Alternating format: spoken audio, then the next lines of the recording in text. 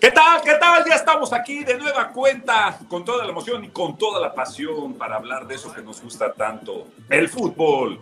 Y sí, estamos en Euforia Fútbol para ver lo bueno, lo malo y lo feo que tuvo la jornada. Así que vámonos de una vez por todas, Omi-Wan, con lo bueno.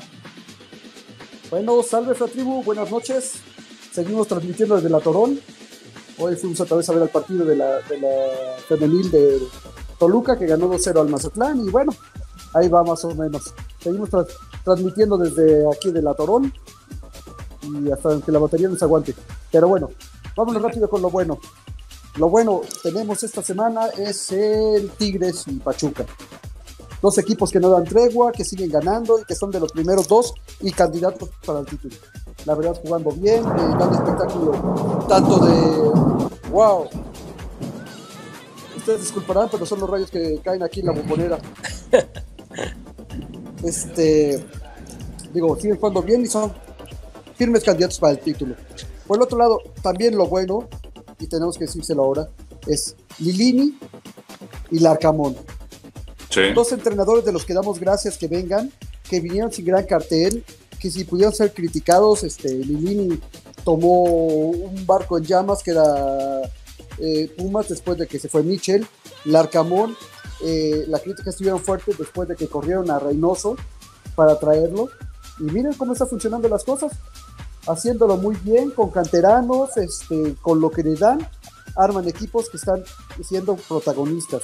Y pues sin más, el Pumas ya es finalista de la Coca Champions, con un equipo mucho más básico que los que sus competidores, en este caso Cruz Azul, ¿no? Entonces yo creo que es algo de lo muy bueno de la semana. Y de lo muy bueno internacional, bueno, el partidazo que nos volvieron a dar Liverpool contra Manchester City. Bueno, Liverpool empezó arrasando con un 3 a 0. Sí. Ya después City quiso reaccionar, se puso 3 a 2. por el portero del City. Ah, sí, claro. Siempre hay alguna cosa así, pero este. Bueno, dos equipos que también dan un nivel de fútbol excelente. Entonces, bueno, felicidades a estos dos equipos y también al campeón de la Copa Holandesa, la final que fue entre Ajax de Ámsterdam contra el PSV Eindhoven y que lo ganó el PSV por un 2 a 1 con gol de Guti Gutiérrez. Y bueno, pues ahora sí que felicidades su primer campeonato al Guti Gutiérrez. Dos mexicanos que se enfrentaron, porque también. Claro que sí, del otro Álvarez estaba Ajax, el Ajax, pero bueno, como quieras ya había sido campeón. En cambio, el Guti es su primer título en Holanda. Sí. Felicidades para ellos. Y nos vamos a lo malo con Voldemort. Ah, perdón, no, Maléquito. bueno, pues en, lo malo, pues el Atlético de San Luis, Tijuana y Juárez. Los tres fuerzas tienen mucha lana y quieren pagar la multa, ¿no? Entonces, pues de repente tienen altibajos, pero normalmente están abajo. Y aunque hay unos que juegan peor, pero ya el agitador nos platicará un poco más. Este, también lo malo, pues la chavineta, la chavineta, pues ya parece que se está desvielando porque después del escándalo. Perdió con el Cádiz. Con el Cádiz. Perdió con el Cádiz 0-1. No, y el escándalo en el Camp Nou, porque había 30 mil alemanes, pero bueno, estaban escandalizados por la invasión.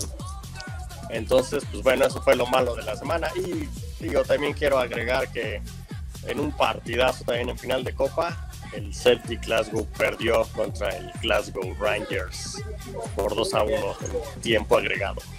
Pero bueno. No es tan malo, pero bueno. Sí, sí, sí. ¿Qué tenemos, agitador? En lo feo, pues el Toluca, que también ya es habitual en esta sección de lo feo. Quinta goleada en el torneo. Así que, pues ahora sí que, eh, como que esta era la más esperada, pero de todos modos no deja de dar coraje que no metan ni las manos. Realmente muy mal se vio el Toluca allá en el volcán contra Tigres. Y bueno, la afición de las Chivas que están haciendo escándalo por todos lados empezaron allá en el eh, eh, estadio de las Chivas. Pleito en las gradas, ¿no? Sí, sí, No, no, pero es que desde que este, estaban en el partido contra Monterrey empezaron con los gritos de fuera eh, Leaño y, bueno, eh, lo del grito prohibido también, este, entonces, pues eso ya es porque las barras están muy enojadas así con, con la directiva de las Chivas, pues no los han dejado reunirse como los tenían acostumbrados y, bueno, eso realmente también ha permeado en, en, otras partes, como en la Ciudad de México, donde también en el partido contra Cruz Azul, pues en el hotel de concentración llegaron muchos aficionados de las Chivas y empezaron a aventar gente, a gritar y, pues, querían que salieran todos los jugadores, ¿no? Para eh, motivarlos, supuestamente ellos, pero pues eran con insultos y cosas desagradables. Sí, sí, terrible.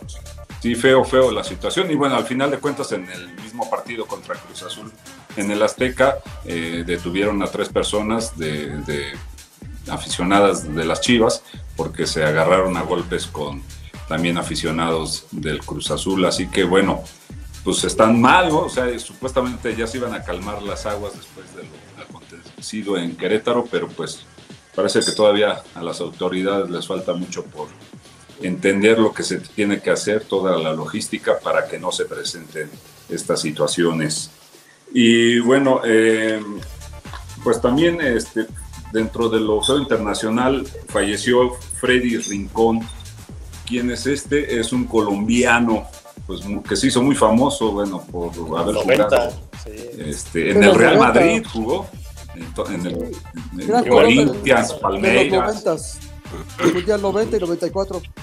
Sí, sí, exactamente. De hecho, su gol que metió ante Alemania lo recuerdan mucho los colombianos. Que, sí. Sí, que, que fue el, empate para el pase a la siguiente fase. Agónico, aparte.